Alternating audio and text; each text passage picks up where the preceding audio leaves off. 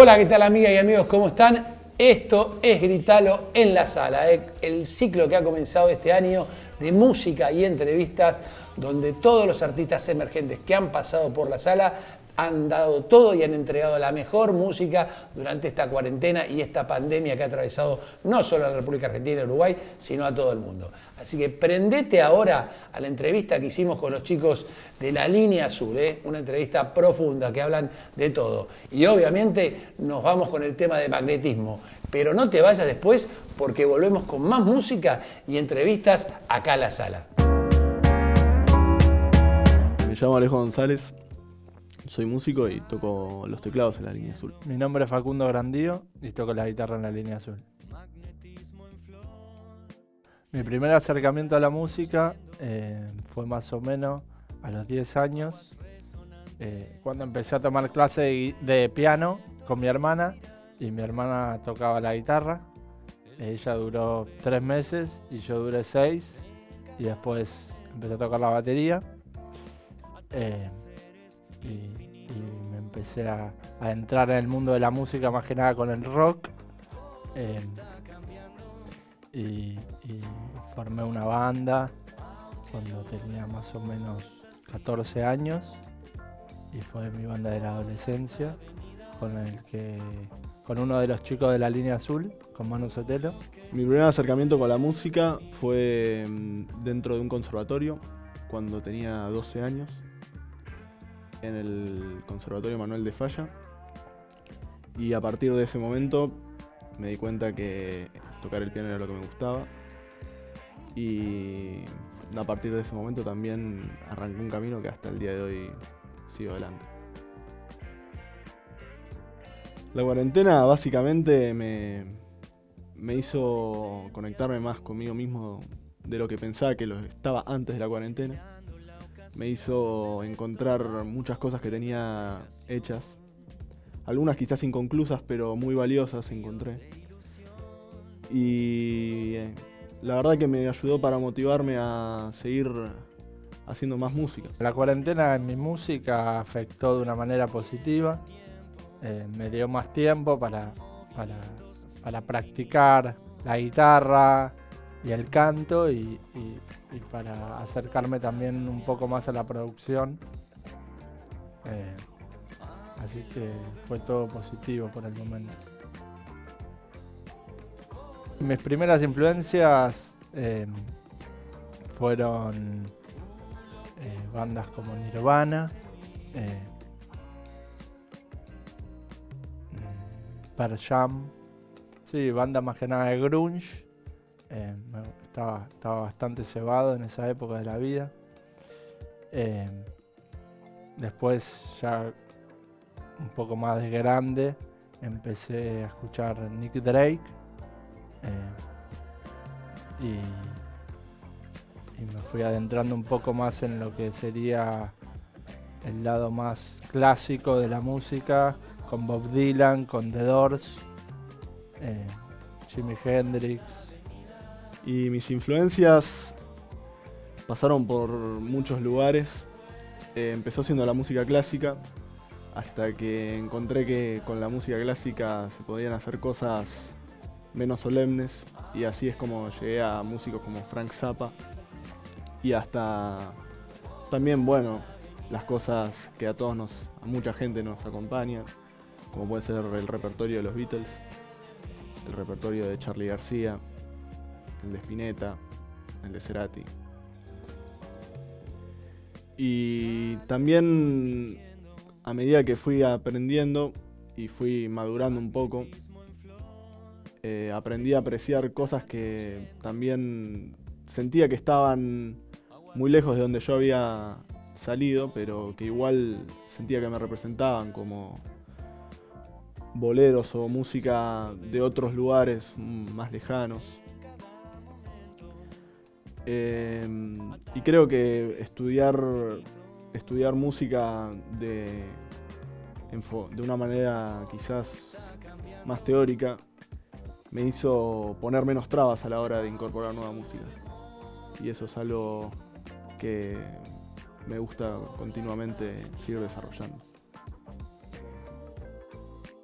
Eh, me siento muy identificado con un músico que sigue vivo, pero que ya tiene una experiencia y una trayectoria bastante grande, que de hecho no es muy del mainstream, se llama Harumios Ono, es de, de Japón, es medio un Charlie García japonés, eso siempre me gustó.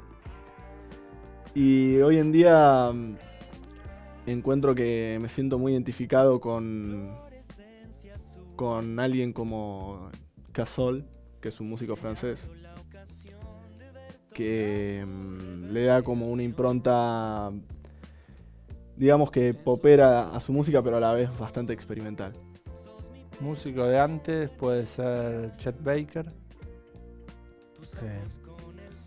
Un músico de ahora. eh, es difícil. Yo escucho mucha música nacional. eh, entonces, una banda que me gusta mucho ahora eh, es una banda que se llama Nafta.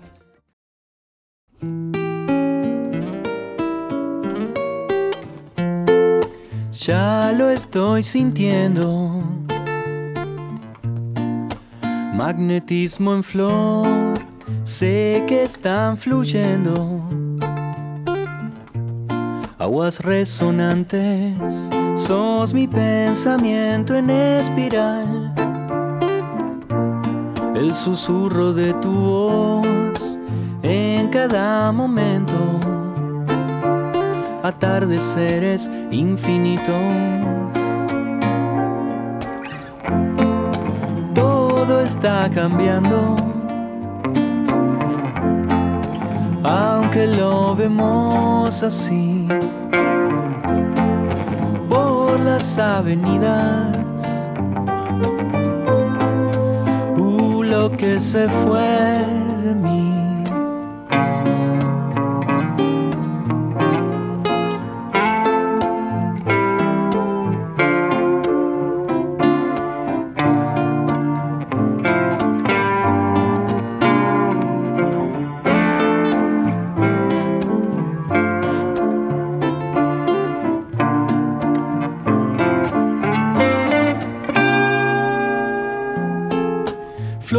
Florescencia azul,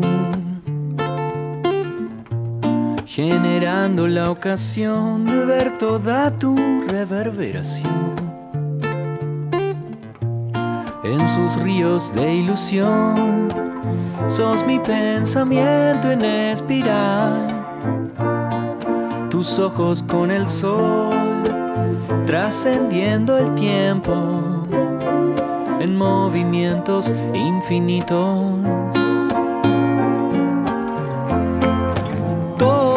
Está cambiando, aunque lo vemos así. Por las avenidas, uh, lo que se fue, se fue de mí todo está cambiando. Aunque lo vemos así, las avenidas, uh, lo que se fue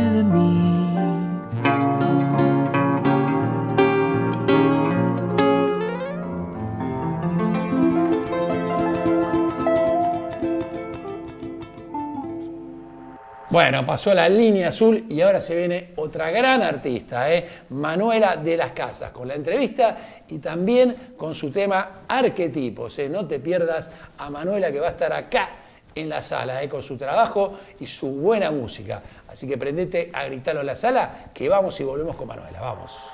Llegamos hasta acá, me Hola, soy Manuela de las Casas y tengo un proyecto musical eh, que por ahora lleva mi nombre también, Manuela de las Casas. Y hago canciones, eh, compongo, le dedico mucho tiempo a, la parte de composición, de investigación, de curiosidad de la vida y, desde ahí lo llevo a la música. Y, y bueno, eh, ahora estoy sacando algunas canciones nuevas. Ya saqué un disco en el 2017 y este año estoy lanzando las canciones del nuevo disco que, creo que va a salir el año que viene.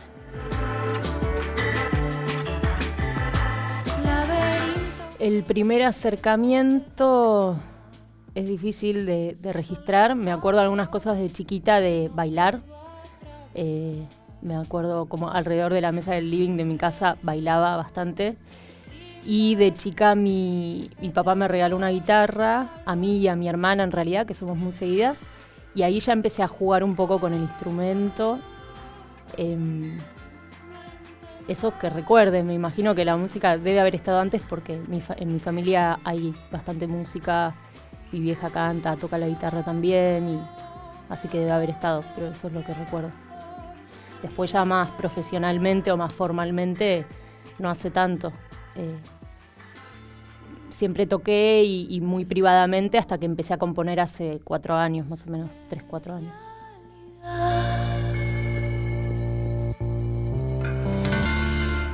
las influencias van cambiando un montón, eh, incluso variando en distintos tipos de arte, como no solo la música me, me inspira, eh, la vida misma me inspira un montón, la naturaleza, eh, y hay artistas concretos que por momento como que me obsesiono directamente y entro a tanto a toda su música, a si han escrito algo o si, no sé, entrevistas, eh, me interesa su vida, como que cuando me engancho con alguien voy muy profundo.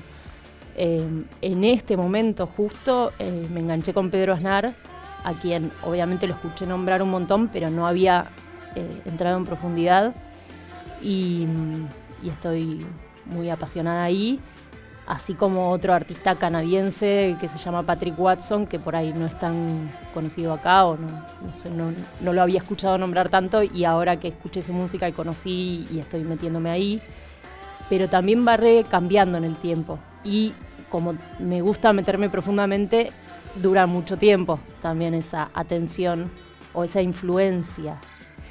Digo influencia, creo que de alguna manera me, me afecta en algo de lo que hago o al, al observarlo me modifica seguramente, no sé en qué, direct- así tan directamente, pero seguro que sucede.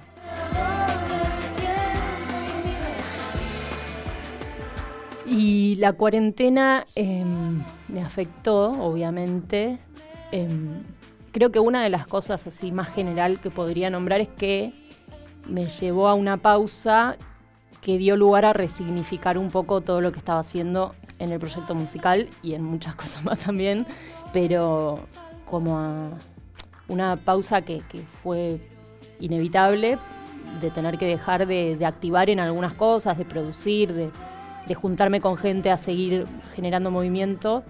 Y, y eso dejó un espacio que al menos yo lo ocupé con esto de, bueno, de, estudiar un poco más tarde, no apenas empezó la cuarentena. Al principio, en realidad, el vacío me llevó más a qué estoy haciendo, hacia dónde lo estoy llevando, por qué estoy haciendo lo que estoy haciendo. Eh, las preguntas existenciales de la vida directamente. Pero mm, me encaminó hacia algún lugar que no puedo explicar concretamente, pero sumó en eso. Aunque también me cambió los planes, como tenía el plan de lanzar tal fecha, hacer esto, tal, y, cambió.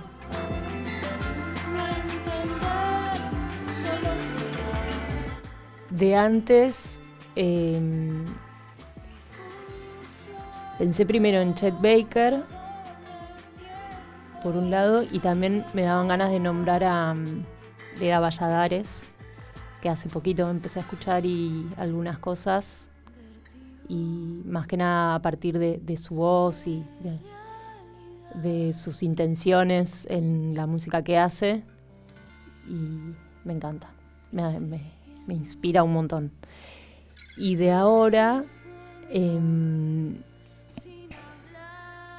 creo, o sea, podría nombrar varias cosas como todas en el mismo lugar, pero alguien que siempre para mí se destaca y me flashea es Tom York, como eh, en, su forma de trabajar, en, el recorrido de todo lo que fue haciendo y lo que sigue mostrando y, y, también lo poco que puedo ir viendo de su personalidad o de, cómo, de qué dice atrás de lo que hace, eh, cómo lo sostiene también y, bueno, y verlo en vivo, como en un montón de cosas me, me inspira, me motiva, eh, me encanta que haya alguien haciendo lo que hace él.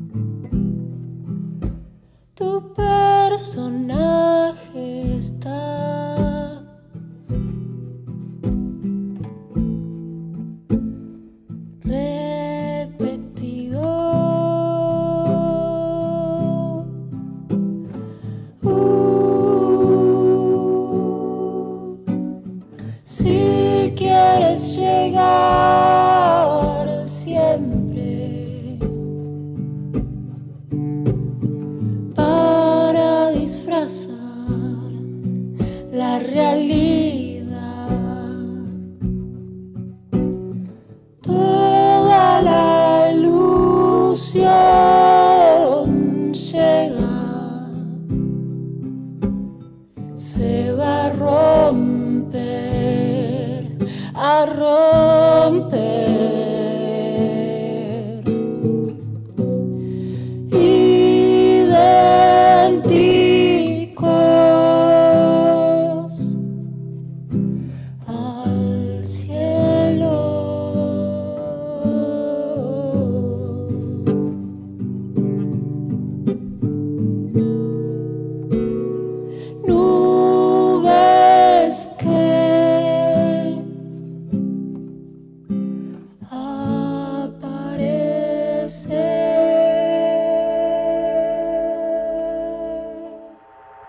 Bueno, seguimos acá en la sala escuchando la buena música que hacen estos chicos y artistas emergentes argentinos que la están rompiendo.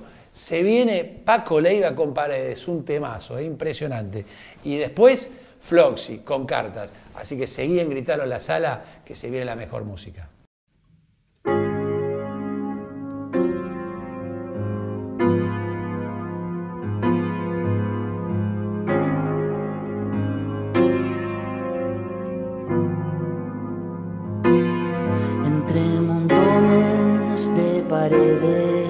Crecí, en medio de una isla, en palabras creí. Y si me pasaras por al lado, no te vería, estaría absorto, absorto antes de acercarme.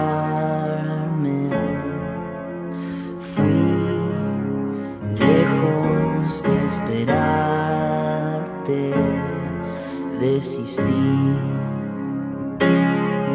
Deambulando por la calle recordé fragmentos del pasado que nunca te conté.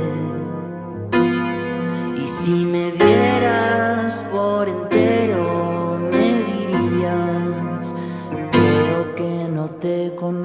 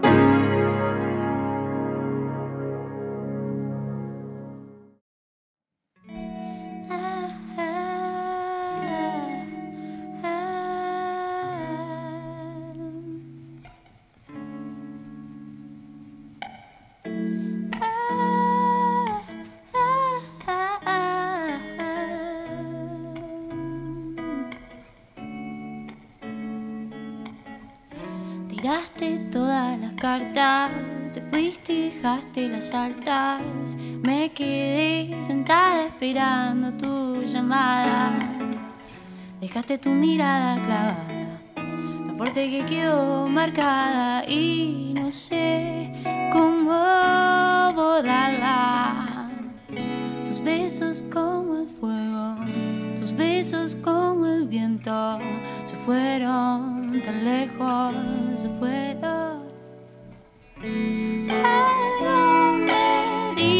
que te acordás de mí, yo te vi mirándome. Algo me dice que te acordás de mí, yo te vi mirándome. Te acordaste tarde, igual no me llamaste, seguís así sin. Pasaron los años, las cosas cambiaron, la gente te sigue, me sigue mirando. Y vos te haces el que no. Tus besos como el fuego, tus besos como el viento, se fueron tan lejos, se fueron. Algo me dice que te acordás de mí,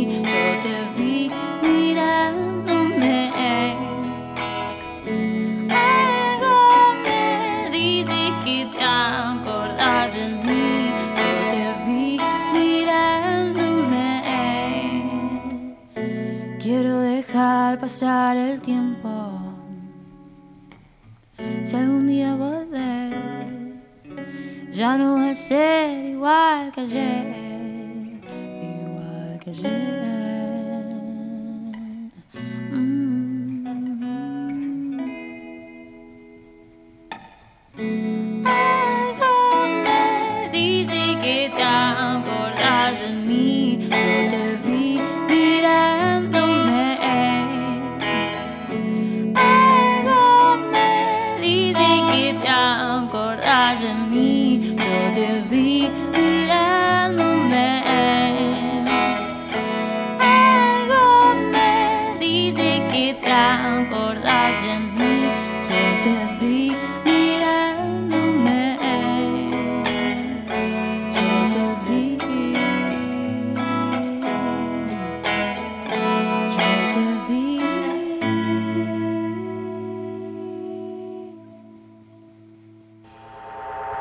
Bueno, espero la hayan pasado muy bien en el ciclo de entrevistas acá de Gritalo en la sala. Nos vamos a ir con un temazo, un cover que hicieron Manuel a las Casas y Facu Grandío. Así que prendete a raíz el tema este espectacular que hizo Cerati con los chicos, con Manuela y con Facundo. Pero no te olvides de seguirlos eh, en YouTube, en, también en Instagram, a la sala, porque a fin de año va a haber novedades. Ya está todo arreglado para entregar el premio de la sala. Ya te vas enterando de a poco. Así que seguinos, nos vemos la semana que viene con la buena música. Chau, chau, chau. Gracias eh, por prenderse a gritarlo. Nos vemos la semana que viene.